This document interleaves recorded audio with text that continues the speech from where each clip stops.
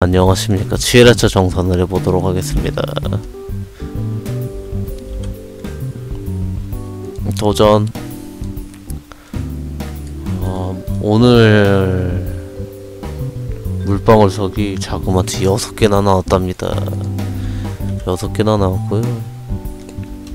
40, 45, 37, 34 몬스터는 대강 한 7만 8천 마리 정도 잡은 것 같네요.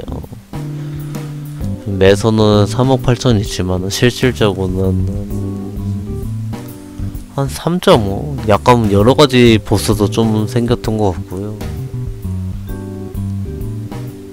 어, 잼스톤은 딱, 딱 50개 먹었어요. 어, 9시간 정도 한 것 같습니다.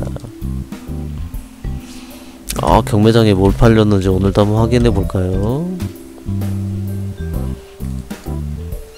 음, 아, 어제 올렸던 아이템하고 탈망들이 팔렸네요. 아, 아, 100억의 낙찰이면 제가 산 거죠. 뭘 샀냐? 공사서출에 덱 있길래 100억이면 싼 거 같고 100억, 101억 정도 됐었는데 싼 거 같아가지고 이제 팬텀 보조 느낌처럼 다시 구매해 보았습니다. 그렇고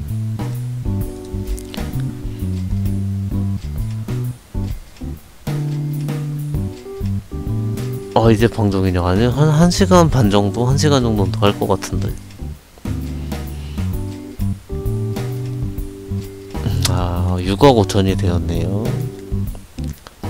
어 나머지는 이제 몇 자리 남았지? 천천히 이제 또 팔아볼 물품을 찾아봐야겠군요.